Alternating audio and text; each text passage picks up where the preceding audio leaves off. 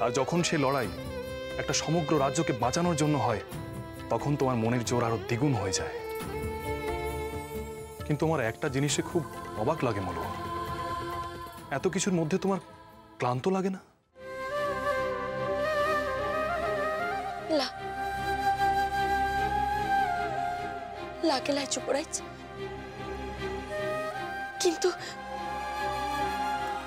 তুমি যদি আমার কথা না শুনে জেট্টু করে বসে থাকো তাহলে আমার কষ্ট হবে আমি তোমার কথা শুনেছি মলুয়া। তোমার কথা মতোই আমি উরিমেলার কক্ষে গিয়েছিলাম। কিন্তু তার সাথে রাত কাটাতে নয়। তাকে কিছু জরুরি কথা স্পষ্টভাবে বলার দরকার ছিল। আজই একটা সিদ্ধান্তে আসা দরকার ছিল। তুমি ওকে কি বলেছ? বলেছি যে আমার পক্ষে ওর সঙ্গে একত্রে একই কক্ষে রাত্রি যাপন করাটা সম্ভব নয়। আর কেউ মানুক না মানুক,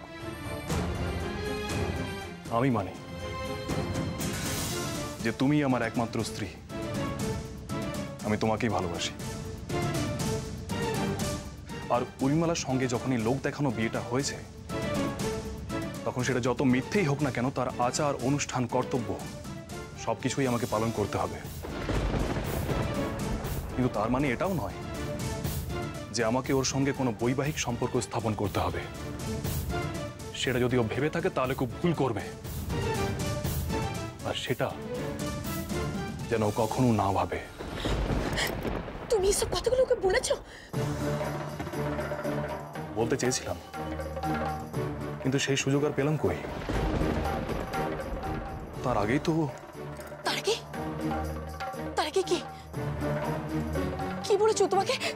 আমাকে বলো যুবরাজ তার আগে ও তোমার ক্ষতি করবে বলেছে ক্ষতি নয় মলুয়া। বরং উল্টে উর্মিমালা জীবনে প্রথমবার হয়তো আমাকে এত বড় উপকার করল। উপকার? হ্যাঁ উপকার। উর্মিমালা নিজের কক্ষে আমাকে রাত কাটাতে নিষেধ করেছে। ওর কুলপুরোহিত ওকে কিছুদিনের জন্য কি একটা ব্রত পালন করতে বলেছে। তোমার সঙ্গে একত্রে রাত্রি যাপন করা আমার পক্ষে সম্ভব নয়। আমি এই কথা বলছি কারণ আমি একটা কঠিন ব্রত পালন করছি।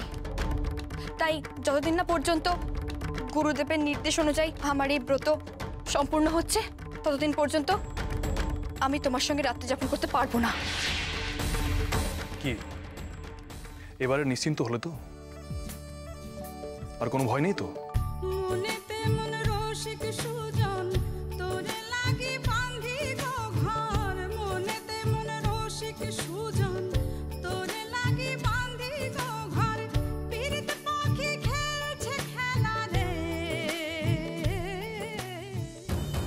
যুবরাজ আবার মলুয়ার ঘরে এসেছেন? যাই ধাইমাকে গিয়ে খবরটা জানিয়ে আসি। আর তো রাজপুত্র? আচ্ছা তুমি তুমি এত রাত্রিরে কোথায় চললে? মলুয়ার কক্ষে।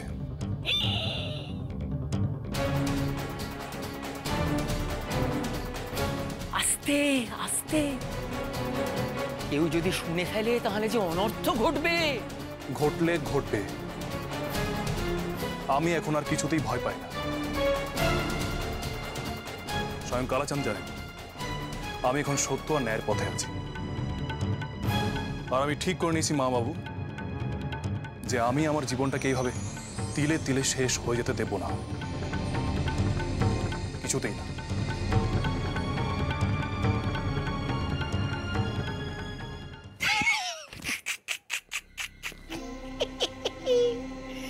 সূর্য তোমার এই সত্য আর ন্যায়ের পথ আমার পথকে সুগম করে দিল যে আমি এটাই চেয়েছিলাম।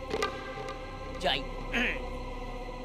গিয়ে দেখি আমাদের উর্মিমালা এখন কি করবে সব শুনে। শম্ভু, তোমার কত কাজ? মলুয়া?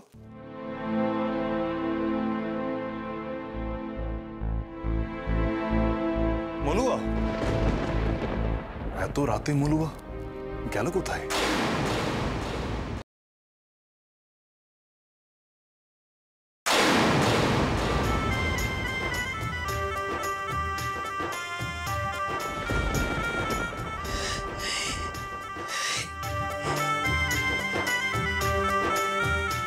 চোখে পাই না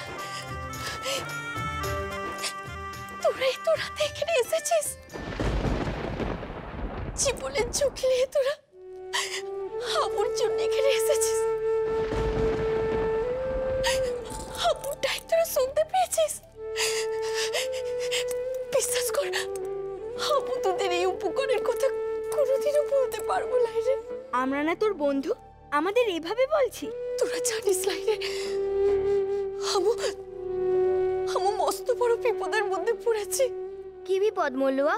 আমাদের সবটা খুলে বল। হামু আজ উর্মিমালার কট্টুই গিয়ে দেখি।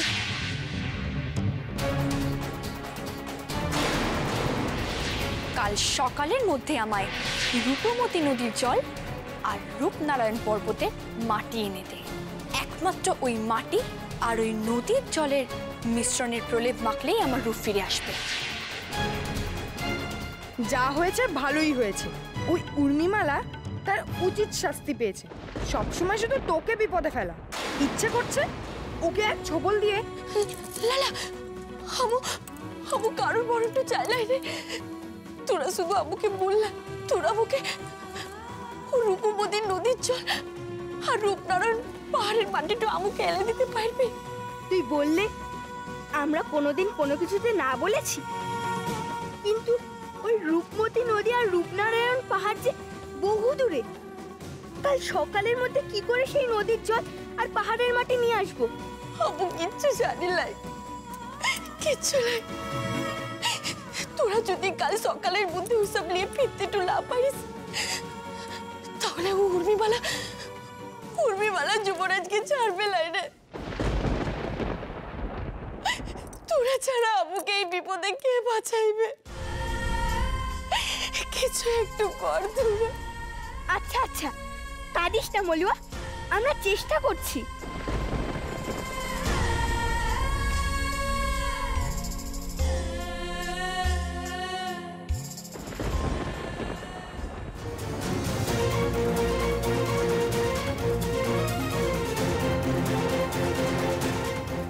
শোন, আমি নদীর দিকে যাচ্ছি, তোরা পাহাড়ের দিকে যা।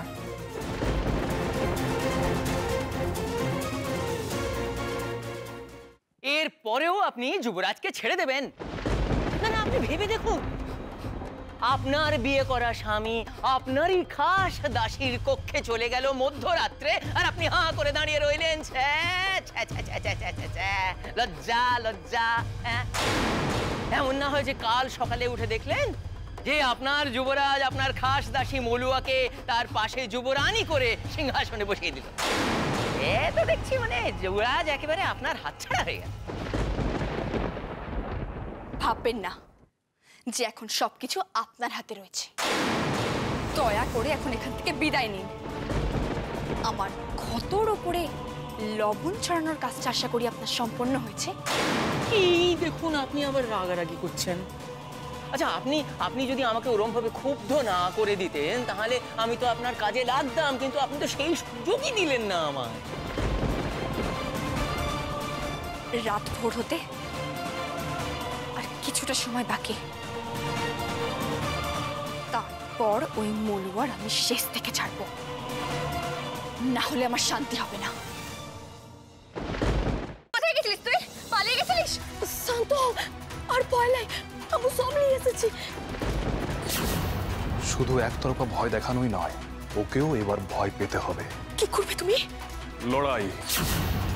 আর তাতে যদি আমার প্রাণ যায় যাক। আমি ওই উড়িমালাকে কেন? স্বয়ং মৃত্যুকেও ভয় পাই না।